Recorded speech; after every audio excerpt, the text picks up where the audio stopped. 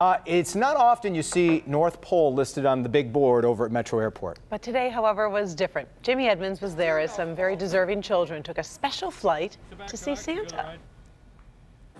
It was a festive vibe right from the start. All the Delta agents and elves doing their part. Five different hospitals, 73 kids, and when they arrived at the North Pole, they really blew their lids. It was festive as can be at the airport today. The kids and their parents just had to say, We're going to the North Pole after all. Everyone's excited from tall to small. Are you going to see Santa? Uh-huh. Are you excited? Yeah. You're gonna see Santa Claus? See Santa? Down the escalator and through the security line to a very special gate. Just look at the sign.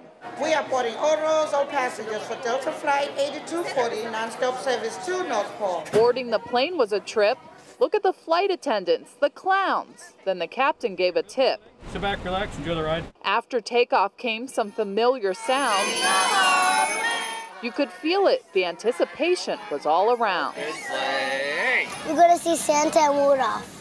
We're going to see Santa and tell him what we're going to do. About an hour without being able to see, we're there, and the kids shouted with glee. Wish you a Merry Christmas, Look, it's Santa greeting the flight, and the kiddos hug the big man with all their so might. excited to welcome us to his home, Santa Claus.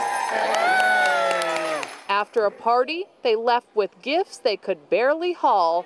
An escape from reality, parents say, was the best present of all. Kind of let us get away and have a special magical time.